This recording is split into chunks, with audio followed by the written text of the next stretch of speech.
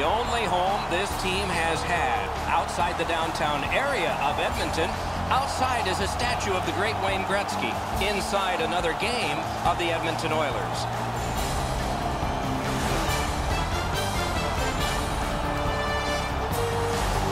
Greetings, everyone. Along with Eddie Olczyk, Stanley Cup winner with the New York Rangers in 1994, I'm Mike Emrick. What a party atmosphere we have seen all day.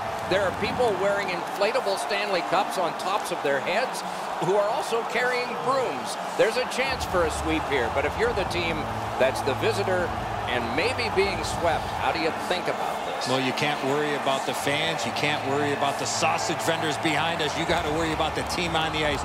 Win the first period and go from there. Now we turn to the last lines of defense, the goalies. Talbot's in goal tonight. The coach's decision made with confidence for the Oilers. Ben Bishop, the goalie of choice for this contest, and a good choice it is. A huge presence at 6'7", 214, and at 28 finally got a chance to prove his value as a clutch goalie for the Tampa Bay Lightning. Opening faceoff is just seconds away.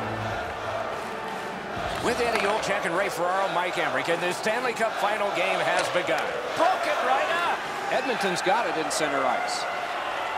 A shot. Oh, that one hit someone on the way. Pass attempt to Drew in between the blue lines.